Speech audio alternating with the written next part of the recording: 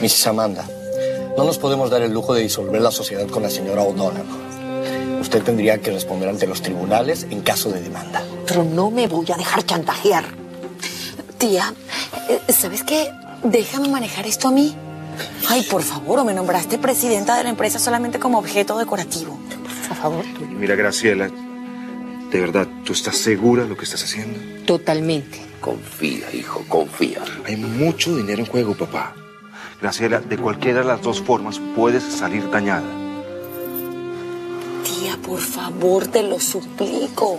Es que de esa forma yo le puedo demostrar a Eduardo y a todos que yo puedo manejar esto, por favor. ¿Sí? Mrs. Amanda, no se arriesgue. Esto le puede salir muy caro. Tom luchó demasiado por esto. Yo fui quien lo convenció de que se metiera en esta empresa y se lo debo. Yo también se lo debo. Señores, atención por favor. Mi tía ha tomado una decisión.